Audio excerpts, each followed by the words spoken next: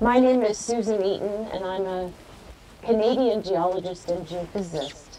And I'm here to talk about a different renewable reality, and that is the human spirit of scientific exploration and discovery, which I believe is alive and well here in Antarctica on this expedition.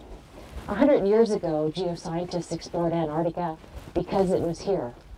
They explored it to plant the flag on the magnetic South Pole, they explored it looking for minerals, oil and gas, coal for their steamships.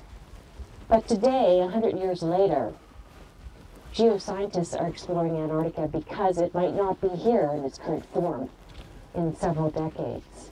In its so snowbound majesty, Antarctica might not be here. So what are geoscientists doing today in Antarctica? They're studying the thickness of the ice shelves and of the polar ice cap they're drilling cores in the ice caps because they do contain the history and the secrets of Antarctica.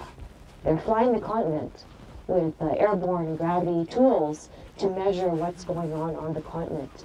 And in the oceans, geoscientists are measuring cores and taking stock of what's going on here because Antarctica is the climate change engine of the world, which is why we're here. We could go to the Himalaya, we could go to the Maldives, we could go see the um, glaciers in the Andes, but we're here today because it's the last unspoiled wilderness, and with the renewed spirit of exploration and discovery, we'll take back to our homelands, to our countries, to our friends and families, what we learned today and on this expedition during 20, 2041. Thanks.